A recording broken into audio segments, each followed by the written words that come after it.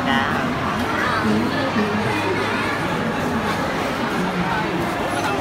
Đúng không anh Mẹ? ơi Đâu đúng rồi, hôm như thế ghép luôn là bạn có đã sơn Và chúng ta sẽ đến với sản phẩm tiếp theo Chúc bạn đầu tiên cho may mắn nha Tôi sẽ đến với sản phẩm đó là của bạn Nguyễn Hoàng Đức Thịnh ai Bracker